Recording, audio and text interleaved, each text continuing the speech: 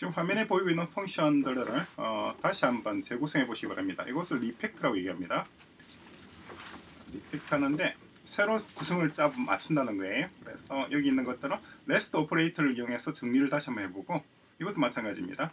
밑에 있는 녀석은 spread operator를 이용해서 한번 다시 정리를 해보시기 바랍니다.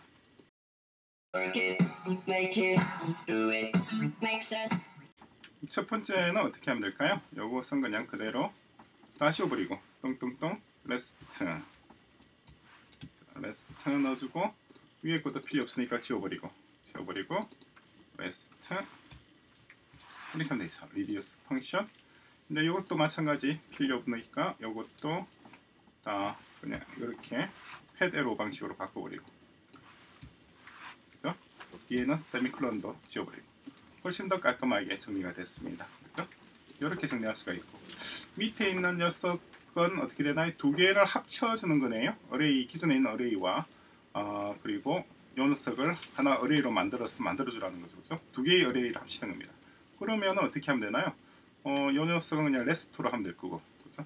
rest, 똥똥똥 rest로 하고 그리고 여기는 또 rest가 되겠죠? rest가 되고 concat array 이런 식으로 표현을 해도 되고 그죠?